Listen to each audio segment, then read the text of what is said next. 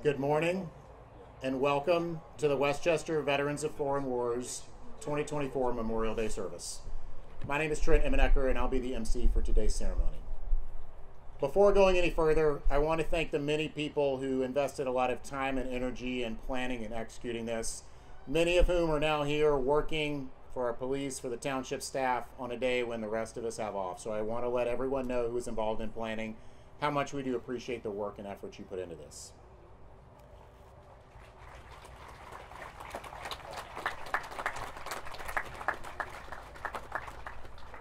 On Memorial Day, in homes, places like this across the nation, we pause to remember those who sacrificed their lives in service to our country. Today, we're honored to have on stage with us six Grand Marshals. In the past, we've only had one, but this year we wanted to try and do things a little differently. We realized that many veterans in our community are aging, and we wanted to make sure we honored them appropriately before it became too late. In addition, we know that there's no one veteran demographic, and so in an attempt to better establish bonds across veterans of different ages, we also invited two veterans of our much more recent foreign wars to participate with us on stage today. Before going any further, I'd like to ask for some audience participation. If you're a veteran of World War II, could you raise your hand? If you're a Korean War veteran, could you raise your hand? If you're a veteran of Vietnam, please raise your hand. Keep them up.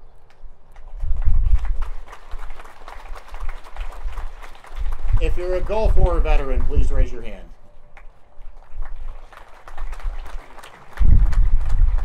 If you're an Iraq or Afghanistan veteran, please raise your hand. If you're a veteran who served in peacetime or in any other conflict that I haven't mentioned, could you please raise your hand?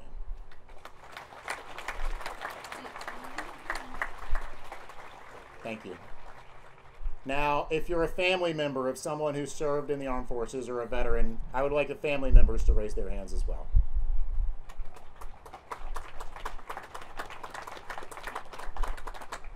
So even though there's a lot of veterans here, you can see that our families and the ones who love us outnumber us, and I appreciate that y'all are here for, for your support. To all the veterans, though, just raise your hand, I would encourage you, if you're not already an active member in the VFW or Legion in our community, to join and become involved. I can only speak from my personal experience, but it has been something that I have found extremely rewarding to be able to share time and fellowship with people who have a common understanding of military service that I do. Now, Memorial Day is here to honor those who died in service to our country. If you or a relative or a friend of someone who died in service to our country in any conflict that we've just named, if you could please raise your hand. Thank you. I asked for the hand raising today to show two things. One, how widespread service and sacrifice to and for our country is, and the depth that it penetrates into our community here today. It's part of so many of our lives and while we may not always think about it, we know that it's something that's present in our community. Before going any further in the ceremony, I want to invite all veterans and their families in attendance today to come to a cookout at the VFW Post Home immediately after the ceremony. The Post Home is just below the post office on Cincinnati Dayton. We'll have hamburgers, drinks. You're welcome to come up and share some fellowship time. And now it's my distinct honor to introduce the marshals for our parade today. Rand, could you please stand? Rand Dodge joined the United States Navy in 1969, serving for four years on active duty and six years in the reserves, leaving service as a petty officer second class. He served in Da Nang, Vietnam, on the USS Howard W. Gilmore, and with Naval Reserve Training Center, Fort Custis, Michigan. Excuse me, Fort Custer, Michigan. In his civilian career, he worked in all aspects of the pest control industry as an owner operator for 47 years. He's the past president of Ohio Pest Management. Married for 56 years, he has two children and five grandchildren. Thank you. Chuck, please stand. Chuck Miller joined the Air Force in 1961. As a pilot, he flew the DC 3, the EC 47, the KC 135, and the Boeing 707 accumulating more than 7,600 flight hours. He served in Vietnam with the Strategic Air Command, the Royal Canadian Air Force, and with Air Force Logistics Command. He retired in 1981 as a lieutenant colonel and lives in West Chester with his wife, Pat.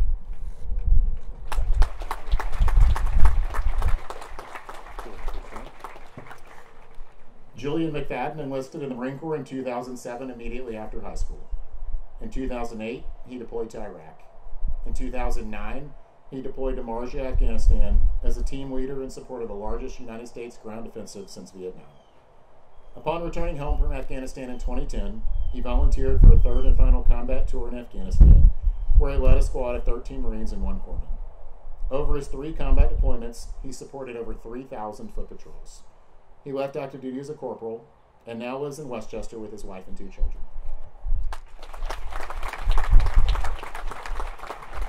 Bill, please stand.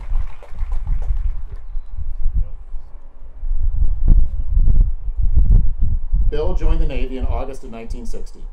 He joined the submarine force and served on the USS Torsk and the USS Segundo, operating throughout the Western Pacific and on patrol in the China Sea. He served on active duty for five years, an additional 21 years in the reserves, before retiring in 1986. As a civilian, he worked at Procter & Gamble as a facilities engineer for 30 years.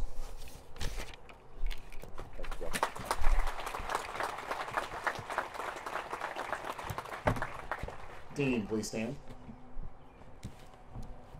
Dean joined the Ohio National Guard while still in high school, and then shortly after enlisted in the United States Air Force. He became an electronics technician, eventually specializing in detecting listening devices. He was stationed in Florida, Puerto Rico, Texas, Mississippi, Massachusetts, California, Washington, D.C., West, West Germany, and South Korea, and retired after 22 years of service, where he then began work at GE Aircraft Engines. As a volunteer in our community, he served as a firefighter at EMT with the Liberty Township Volunteer Fire Department, as a volunteer for great Parks of Hamilton County, with the Boys and Girls Club, and many other similar activities.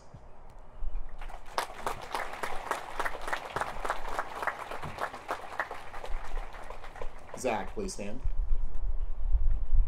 Zach Pace served in the United States Army for five years, where he deployed to both Iraq and Afghanistan. He left active duty as a staff sergeant. He's been a resident of West Chester for nine years. He and his wife Kelly have three children Bree, who is 16, Molly, who is 10, and Nolan, who is 8. He's also a Butler County veteran mentor.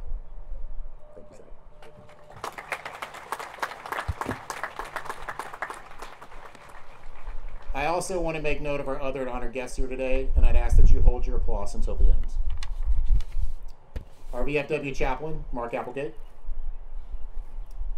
Our color guard. The members of West Chester VFW Post 7696 the members of American Legion Post 681, the West Chester Police Department, the West Chester Fire Department, and all of the elected leadership from our community who came out to participate in the parade today. A round of applause for all our guests.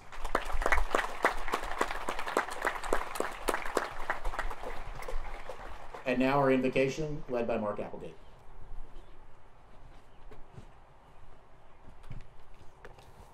Uh, with heads uncovered, please join me in an attitude of prayer. Dear Heavenly Father, as we have gathered together this Memorial Day 2024, let us honor the service and sacrifice of our brothers and sisters that gave their lives in service to our nation. It is because of these good men and women who gave their last breath in defense of our nation, our freedom, and our children's future that we are able to stand here today. We also ask that you bless everyone assembled here today as we pay our respects and grant us the strength to rise to the challenge of our time to preserve our way of life, liberty, and the pursuit of happiness. Freedom is not free, as demonstrated by the many souls that have perished defending the United States of America throughout our history. We ask that you guide us in living a life worthy of their sacrifice. Amen.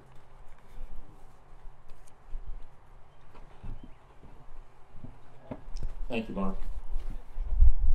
The color guard team, led by Frank Lambert, will raise the national, the American flag, and then lower it to half mast in honor of the American fighting men and women who have given the ultimate sacrifice in devotion to our country. The national anthem will be presented by the Lakota West Band.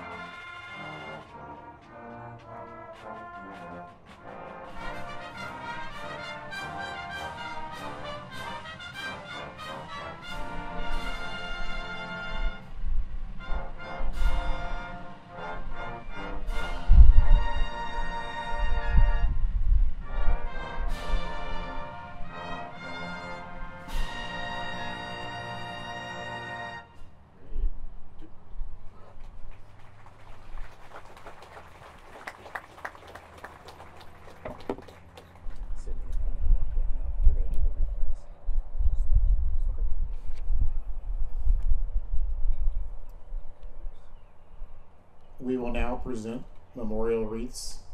Grand Marshals, if you were able, please descend and assemble in front of the memorial wreaths.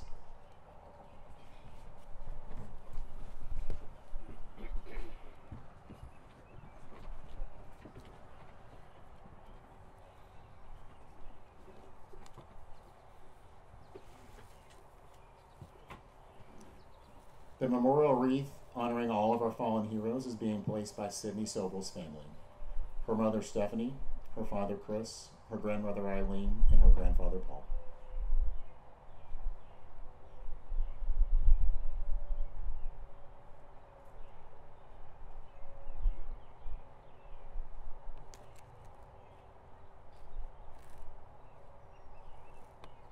We will now present seven memorial wreaths honoring those unknown service members who gave their lives in service to our country.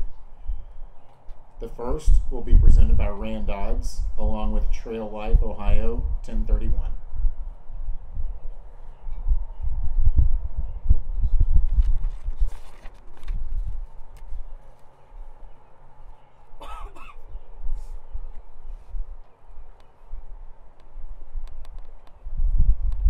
The second will be presented by Girls, Ohio 3124.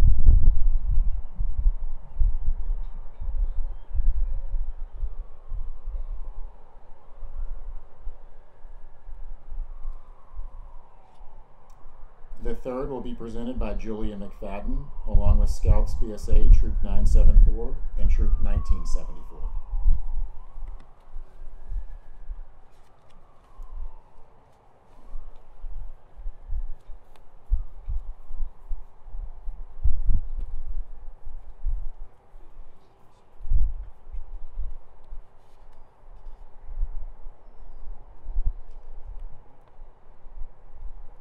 Dean Schwartz in American Heritage Girls, Ohio, 2513.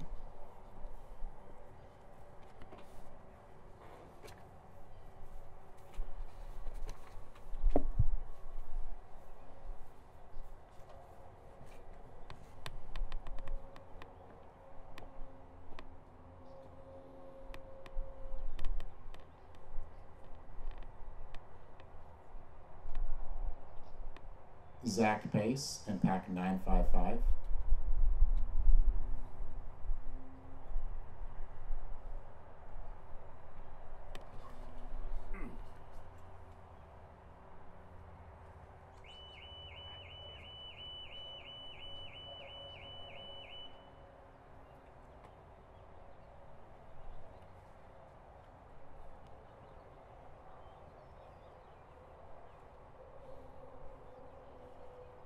Honor Flight Tri State, along with the FW Post 7696 Commander Mike Barker.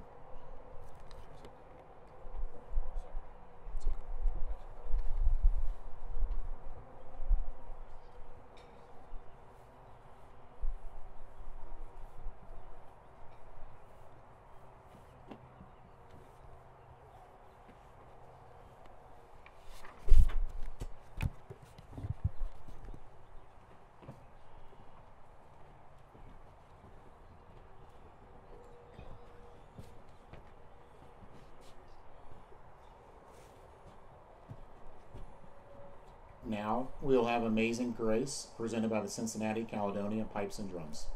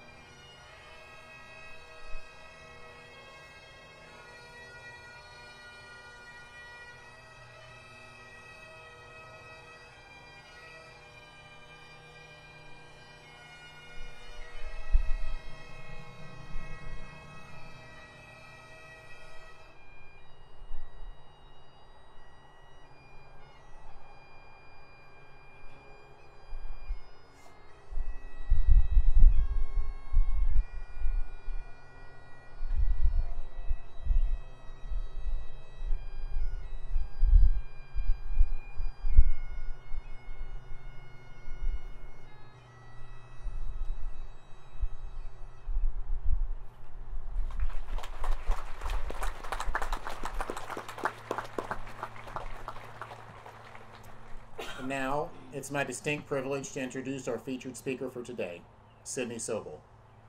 She was invited to speak after a trip to Arlington Cemetery that Mike Barker, post commander for VFW Post 7696, was on as a chaperone. While there, Mike discovered her personal connection to, to Memorial Day. Sydney's a 2024 graduate of Lakota East. In addition to working and hanging out with her friends, she's a member of the Lakota East Veterans Club, participating with Honor Flight Welcome Home and other similar activities. During her final year of high school, she attended the University of Cincinnati to take CCP classes. In general, she loves to help others. And with that, I'd like to introduce Sydney.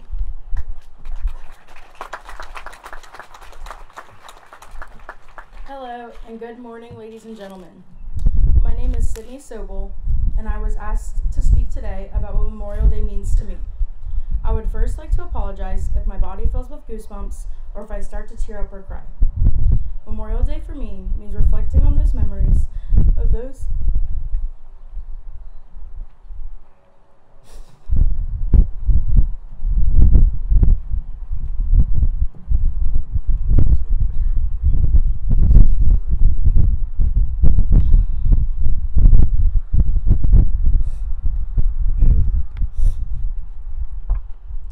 Memorial Day for me means reflecting on those memories of those who have fought for this country, giving each and every one of us our freedom, to respect the lives that were fought and lost, both past and present. When I was younger, we visited my dad's cousin, whose husband, Chief Petty Officer Dave Michaels, Dave Michael Collins, who was a Navy SEAL. Even though I didn't know him well because he was always on a mission, he is still family and very close to my heart. He had demonstrated skill and bravery in the conduct of 64 combat convoys and 72 secret operations. He was in direct support of Operation Iraqi Freedom from January 1st, 2005 to April 15th, 2005. After all his tours, he returned home suffering from a TBI, which is a traumatic brain injury, which he would later succumb to. His final resting place is at Arlington National Cemetery in Washington, D.C. Dave's wife, Jennifer, continues today to fight for research with organizations helping veterans with traumatic brain injuries. I was lucky enough to be able to pay my respects to Dave as I got older with my family, then again this past November with the Lakota East High School Veterans Network Club and the East Choir on our trip to Washington, D.C. for the annual Parade of Heroes. During this trip, we had visited Arlington National Cemetery, where Mr. Barker, the commander of the West Chester VFW and he- husband of Sally Barker, who is the Veterans Club organizer, was joined with our tour guide Jamal Freeman, who is also serving in the Navy. They had performed a private military ceremony for my cousin at his grave. All my classmates were there to observe and put pennies on his headstone. This meant a lot to me, not only because it was emotional and respectful, but also because Jamal was self selfless enough to go where his buddies' graves were. That Jamal had even said earlier that day, I still cannot go visit them because it gets too emotional. And even closer to home, my grandfather, Paul Sobel, is a veteran of the Vietnam War.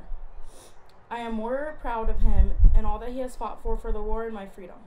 It pains me to think of how the Vietnam War ver- the Vietnam War veterans were treated when they had returned home. They were yelled at, spat on, and shamed. Yet they didn't even have a choice to go to war because most of them were drafted. I have enjoyed my time with the Lakota East Veterans Network Club.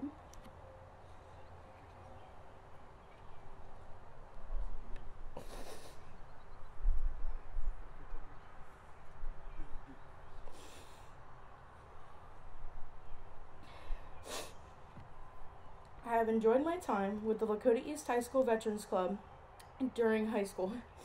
As we worked closely with the veterans throughout the community, the trip to Washington, Washington D.C., and volunteering to help the VFW. As I continue my journey, journey to pursue a degree in nursing through Ohio University, I plan to continue supporting the veterans through, throughout the United States. I would do anything to shake the hands of those who have served our country and tell them thank you individually. Just thinking about what all veterans have experienced causes chills through my body and my heart to break. So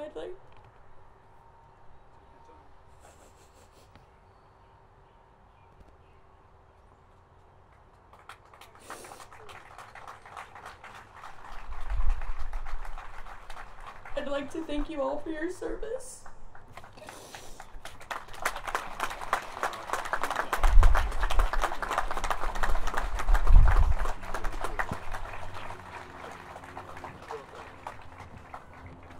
Thank you, Sydney. Memorial Day is an emotional day for a lot of us. Veterans, family members, friends, and I think it's important to remember why. Okay, we just heard that very eloquently from Sydney. We will now have a rifle volley. Color Guard Captain, perform your duties.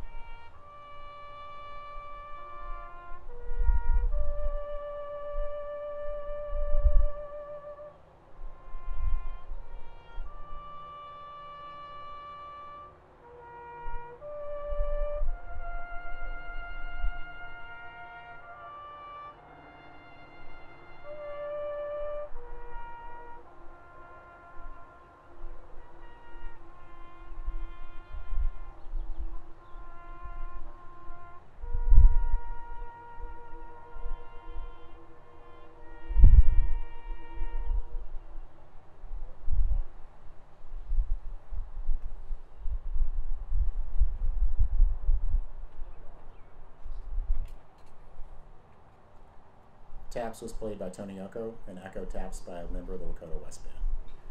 And now our benediction.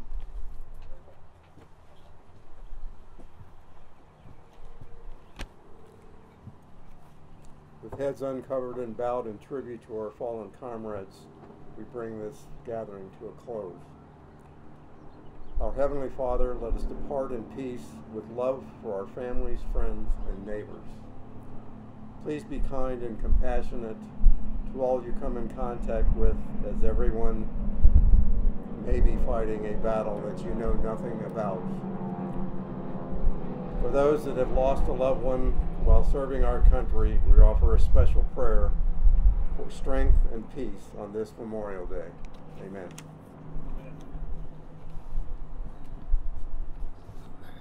Thank you for joining us today to honor our fallen heroes. May God bless them, and may God bless America. As a reminder, we invite all veterans and their families to join us now at the post home for a cookout. This concludes our ceremony.